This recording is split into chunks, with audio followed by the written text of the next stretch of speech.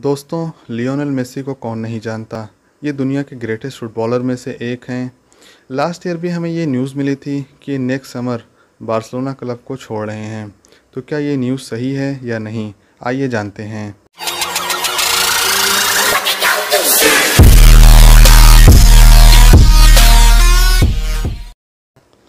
Messi ने Barcelona club 13 साल की उम्र में ज्वाइन किया था। और ज्वाइन करते ही उन्होंने तूफ़ान मचा दिया था। ये इतना अच्छा खेलते थे कि कोच के साथ साथ अपोजिट टीम के प्लेयर भी हैरान थे। और अब 17 सक्सेसफुल सीज़न के साथ और 35 टाइटल अपने नाम करके ये लालीगा क्लब को छोड़ रहे हैं। इस न्यूज़ को खुद बार्सिलोना क्लब ने ऑफिशियली जारी किया है। उन्होंने बोला कि लियोनल मेसी का कॉन्ट्रैक्ट अब रिन्यू नहीं होगा और six time Ballon d'Or winner will leave the club क्योंकि दोनों पार्टीज़ में एग्रीमेंट नहीं हो पाया। उन्होंने ये भी कहा कि फाइनेंशियल एंड स्ट्रक्चरल ऑब्स्टकल की वजह से मेसी का कॉन्ट्रैक्ट साइन नहीं हो पाया।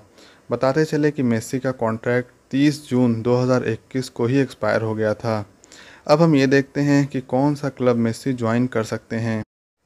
फ़िलहाल तो football players and even fans and coaches को यही लग रहा है कि मेसी मैनचेस्टर सिटी या फिर पीएसजी ही ज्वाइन करेंगे।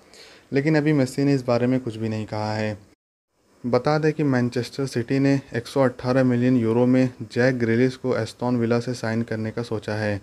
अगर मेसी मैनचेस्टर सिटी को ज्वाइन करते हैं तो पेप वार्डियोला के अंडर में एक बार फिर खेल सकते हैं और पेप मेसी के साथ चैम्पियन लीग जीतने का ख्वाब देख सकते हैं। दोनों ने इससे पहले चार साल साथ काम किया है। दूसरे नंबर पे है पीएसजी अगर पीएसजी को देखें तो वो मेसी को साइन करने के लिए बहुत एक्साइटेड हैं। पीएसजी के कोच ने अपने एक इंटरव्यू में ये कहा कि उन्होंने अभी मेस्सी से इस बारे में बात तो नहीं की, लेकिन उनके आने से क्लीन एम्बापे क्लब नहीं छोड़ेंगे।